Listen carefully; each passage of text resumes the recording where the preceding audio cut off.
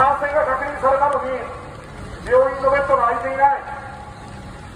だから自宅で待て。ホテルで待て。地域医療を担っている中心は都道府県つまり東京都です。その間保健所を小さくして減らしてきた。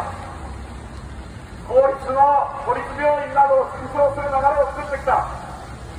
その結果が感染をしても医療が受けられないいや感染していなくても他の病気や事故でも救急車の受け入れ先が見つからないそんな状況を作ってきてしまったのは政治に原因があります政治を変えればもっと命を守れる